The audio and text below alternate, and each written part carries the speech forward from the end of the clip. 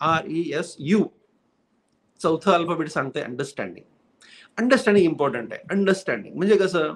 मी असं म्हणेन ना पालकांनी पण अंडरस्टँड करून घ्यावं म्हणजे लेकरांनी पण अंडरस्टँड करून घ्यावं ह्या दोन्हीचं कॉम्बिनेशन आहे. पालकांनी काय अंडरस्टँड करून घ्यायला पाहिजे? हो माझ्या लेकराने अभ्यास केला होता. ठीक आहे काही ना काही कारणाने ह्याला मार्क कमी पडले. ही पालकांची अंडरस्टँडिंग पाहिजे पहिली.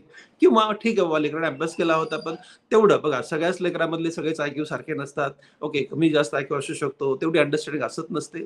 हे पण आपण पालकांनी समजून घ्यावं. लेकराचं पोटेन्शियल पण अंडरस्टँड करावं पालकांनी. हे खूप महत्त्वाचा विषय किंवा लेकराचा इंटरेस्ट पण अंडरस्टँड करावा. फक्त पुस्तकं अभ्यास केला म्हणजेच माणूस मोठा होतो असं काहीच नसतं.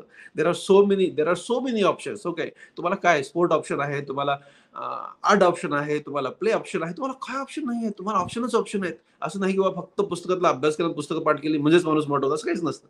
There are so many options आहे उपलब्ध आहेत अवेलेबल आहेत करू शकतात ही अंडरस्टँडिंग पालकांची असली ठीक आहे?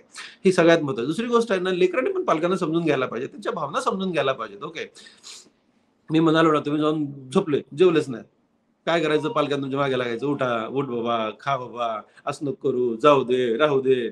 मग हे हे जे वातावरण आहे ना घरातलं एकदम घरामध्ये कोणाच तरी काहीतरी निधन निधन झालंय. असं काहीतरी वातावरण निर्माण करण्याची गरज नाहीये तुमच्या लक्षात येत नाही लेकरांनो की हे काय आहे? एक एक्झाम आहे यार.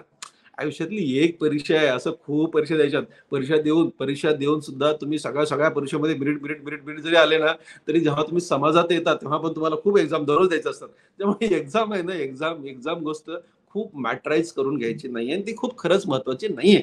ओके कसं माहितीये का? एक समोर जाण्याची अंडरस्टँडिंग असली पाहिजे. ठीक? आहे बघा असं उठायचं आणि अंडरस्टूड काय आई वडिलांना सांगायचं बघा हे बरोबर आहे. मला मार्क कमी पडले पडले त्याची कारण मला माहीत आहेत. हे हे हे ही माझी कारण आहेत.